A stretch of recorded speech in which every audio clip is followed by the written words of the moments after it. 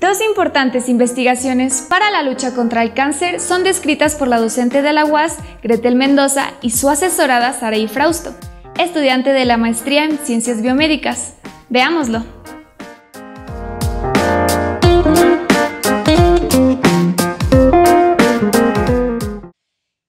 A partir del 2018 generé dos líneas de investigación principales que tienen que ver con el estudio del cáncer. La primera de ellas la denomino genómica funcional del cáncer y eh, detección de biomarcadores.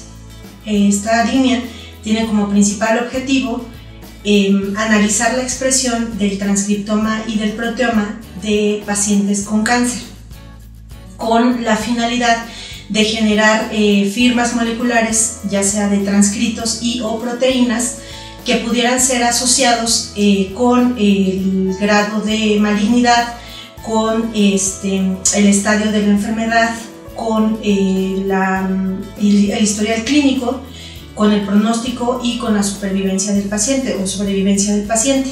Eh, y bueno, con esto eh, la finalidad última es apoyar o incidir en el diagnóstico temprano de la enfermedad, en el manejo de los tratamientos que se están otorgando, qué tan efectivos pueden ser para el paciente y para generar a lo mejor eh, nuevos blancos eh, terapéuticos. Por otro lado, la segunda línea de investigación que estoy generando la denomino papel de las plaquetas en el desarrollo y progresión de enfermedades crónicas e infecciosas. Actualmente se conoce que las plaquetas no solamente tienen eh, el papel primordial en el mantenimiento de la hemostasis, sino que además participan en procesos crónicos en el caso del cáncer, por ejemplo, en el desarrollo de, mm, microambientes propicios para que se generen eh, focos metastásicos. Entonces, bueno, el objetivo de esta línea de investigación justamente es analizar los mecanismos por los cuales las plaquetas están siendo capaces de eh, desarrollar estos procesos. Y bueno, em, otro papel muy importante que tenemos aquí en el laboratorio pues es la formación de recursos humanos competitivos. En este momento, bajo estas dos líneas de investigación, se encuentran eh, en el laboratorio formándose ocho eh, estudiantes de licenciatura provenientes de la Unidad Académica de Ciencias Biológicas y de la Universidad de la Unidad Académica de Ciencias Químicas. Em, se encuentran cinco alumnos de posgrado cuatro alumnos eh, que pertenecen al programa de la maestría en ciencias biomédicas de la Universidad Autónoma de Zacatecas y una estudiante de doctorado que pertenece a la Universidad Autónoma de Aguascalientes y bueno, pues ahí tenemos una colaboración importante para la formación de recursos.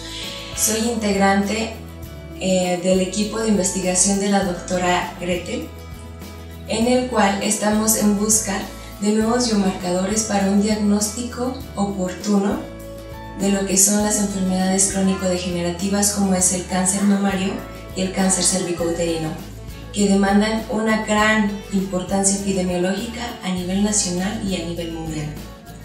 Mi tema de investigación es analizar y cuantificar los genes relacionados en la ruta NRF2 en eh, tejido embebido en parafina en cáncer mamario.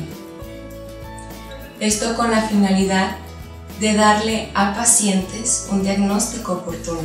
Todos estos proyectos pues son posibles gracias a múltiples colaboraciones que nosotros tenemos. Eh, todas son importantísimas.